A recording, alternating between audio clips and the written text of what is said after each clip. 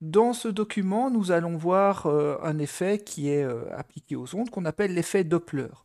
Donc pour expliquer cet effet, nous allons utiliser les ondes sonores. Donc en supposant dans un premier cas qu'un premier individu se dirige vers un deuxième individu en faisant du bruit, donc on voit les ondes ici qui se propagent autour de lui, euh, on observe qu'en avançant, si l'individu avance relativement rapidement, on voit que les ondes vont être compressées devant, donc euh, puisqu'il a une certaine vitesse ici, alors que derrière, les ondes vont plutôt subir une dépression. On voit que les ondes sont beaucoup plus séparées ici et très rapprochées à l'avant. Donc ceci va euh, entraîner euh, un son aigu pour l'individu qui verra le premier individu se, se rapprocher de lui, et lorsque le deuxième individu sera derrière, le son va devenir plus grave.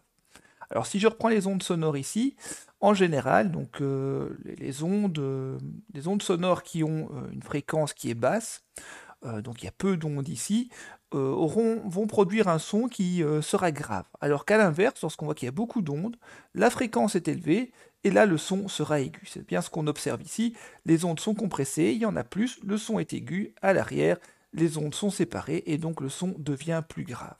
Donc tout ça, c'est par rapport évidemment euh, à l'observateur qui est l'individu numéro 2. Alors ces exemples, euh, on peut les retrouver, bah, c'est comme le bruit que fait une voiture de, Formule 1 euh, lorsqu'elle passe devant vous, ou de manière plus générale, le bruit d'une ambulance. Donc quand l'ambulance arrive au loin, on entend un son, son qui, est, aigu. Donc l'ambulance arrive, le son est aigu. Pourquoi? Parce que de nouveau, la vitesse fait que les ondes sonores vont être compressées vers l'avant. Lorsque l'ambulance est passée, on entend qu'elle s'éloigne et le son devient plus grave, puisque les ondes ici vont subir une dépression et vont être plus éloignées les unes des autres.